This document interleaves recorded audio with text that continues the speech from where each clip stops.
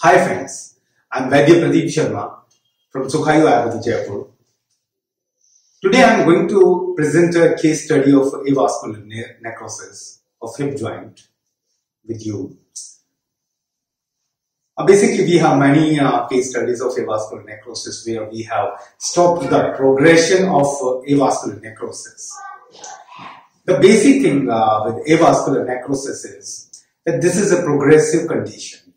The disease keeps on progressing and your surgeon, orthopedic surgeon or any surgeon keeps on waiting when the hip joint will decay and they will go for a replacement.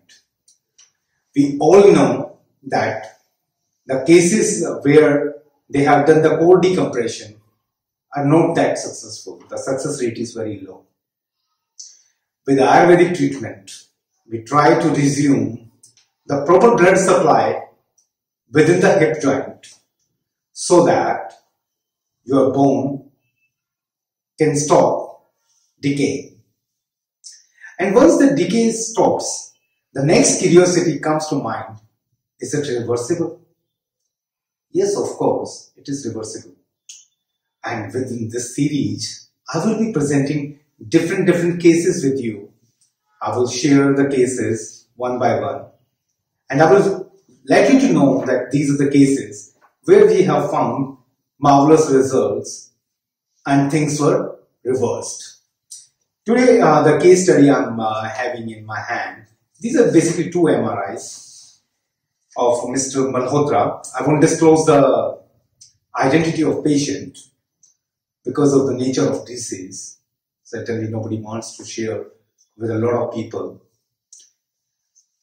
Mr. Malhotra uh, was a case uh, which we denied in the very first meeting because it was in case uh, stage 4 and as many of our patients and followers know that we don't take cases which are in grade 4 and above that over that uh, he had gone for core decompression also so it was a challenging case, case for us and that this kind of challenging cases give a lot of hope to me as a physician we started the treatment and I will show you the MRIs that how Mr. Malhotra's hip changed its structure.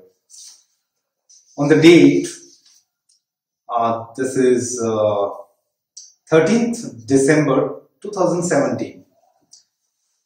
His MRIs, MRI says, as you can see on the screen also, that uh, there is marrow edema is seen in head and neck of femur. The acetabulum shows chronic remodeling demonstrated by increase in depth.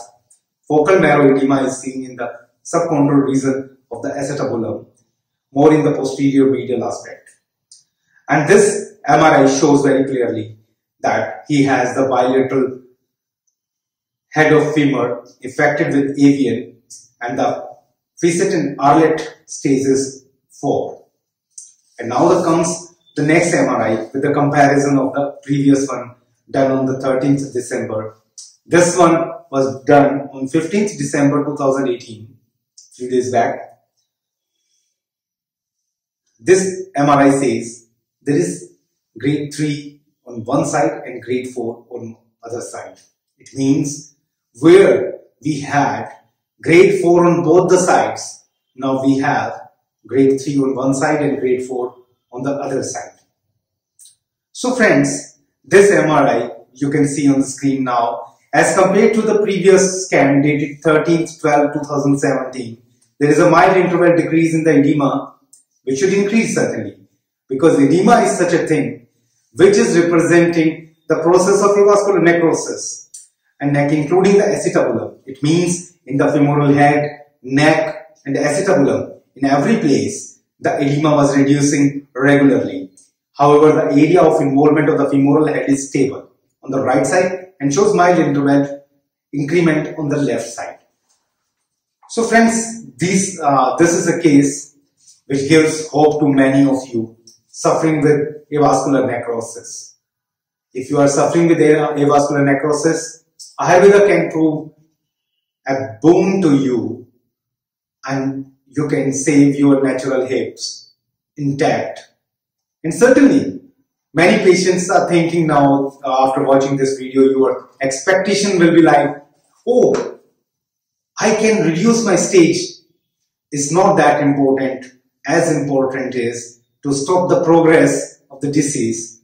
Where you are, if you are in second stage and you are able to do everything, don't wait that your hip will collapse and you will go for a hip replacement. So on this note, I will take your leave. Thank you for watching. Stay with us, subscribe us and stay tuned with Sukhayu Ayurveda. Namaskar.